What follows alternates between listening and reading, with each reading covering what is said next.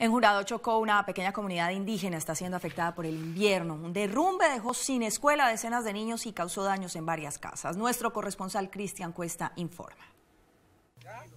Las fuertes lluvias ocasionaron que la montaña se diera y arrasó con el único colegio donde estudiaban menores indígenas o UNAM de la comunidad Santa Marta de Curiche en Jurado.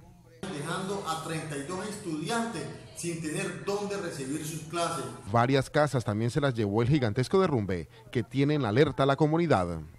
Afectó a más de 23 familias para un total de 113 personas que han perdido todos sus cultivos de pancoger, sus animales de cría.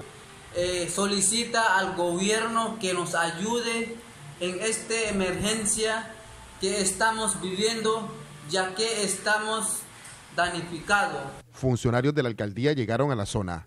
Lo primero son canalizar ayudas y la construcción de un nuevo colegio. Hubo más o menos un desastre importante. Entonces ya estamos atendiendo de manera oportuna la situación allá. Afortunadamente no hubo afectaciones en, en las personas, pero sí daños materiales considerables.